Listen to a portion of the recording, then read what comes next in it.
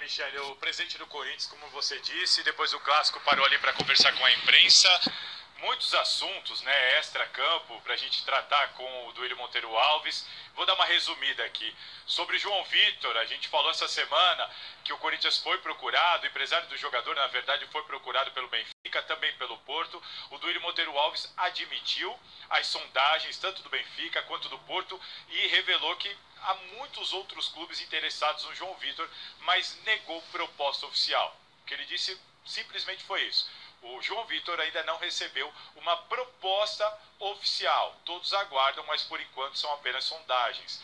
Bruno Mendes, o Internacional não fez proposta e o Corinthians então conta com o retorno do Bruno Mendes, independente da saída ou não do João Vitor, a não ser que o Internacional tope pagar o que está lá estipulado em contrato, que é cerca de 28 milhões de reais por 50% dos direitos do Uruguai. O Inter quer, mas não colocou proposta na mesa. Então, Bruno Mendes deve voltar para o Corinthians. O Duílio Monteiro, Alves também se mostrou muito confiante na perícia que o Corinthians é, conseguiu lá de Curitiba, com o pessoal de Curitiba, a perícia de leitura labial sobre o caso do Rafael Ramos. O Corinthians agora sim está muito confiante de que o atleta não cometeu injúria racial contra o Edenilson.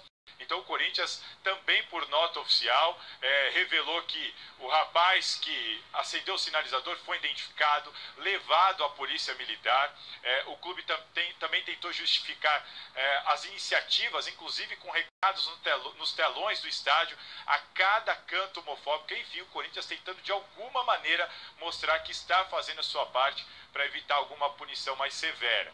Falando do time, o Cássio passou por, exames hoje. O que ele sofreu foi uma subluxação no ombro esquerdo. Isso sequer é considerado uma lesão.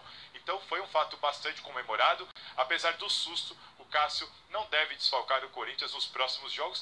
De quinta-feira contra o Always Ready. O Fagner ainda é dúvida, está em fase de transição. Treinou com bola hoje, mas sem contato com os demais atletas. Então vamos ver se ele vai ter condições de voltar para essa quinta-feira.